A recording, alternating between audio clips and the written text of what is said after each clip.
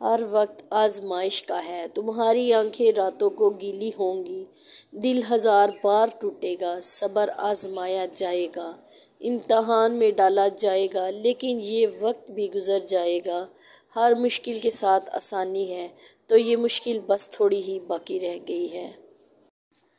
तो अस्सलाम वालेकुम, मेरी यूट्यूब फैमिली कैसे हैं आप? उम्मीद करती हूँ आप सब ठीक होंगे। अल्लाह ताला के फजल से, करम से और आपकी दुआओं से हम सब भी ठीक हैं और आप भी खैर अफियत से होंगे। तो प्यारे व्यूवर्स आज मेरी तबीयत बहुत ज़्यादा ख़राब है, गला ख़राब है और ज़ुकाम लगा हुआ है और अब मैं बना रही हूँ सुबह का नाश्ता, अपने लिए चाय और साथ में खाने लगी हूँ रोटी क्योंकि ब्रेड और जो है ना रस वो खा खा के मैं तंग आ गई हूँ।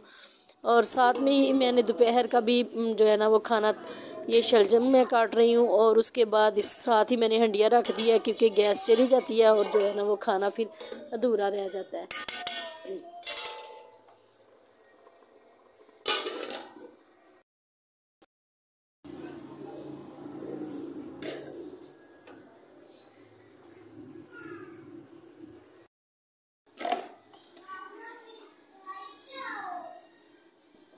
तो यहाँ पे मेरी जो चाय है वो रेडी हो चुकी है। अब मैं पीती हूँ। आ जाए जिस जिसने पीनी है वेलकम और ये जो मेरी सिस्टर आई हुई ना, उसके बच्चों बच्चों की चाय है। ये इसमें मैंने इसलिए डाली है कि फीडर में डाल के ना तो ठंडी करके ना ये उनको देनी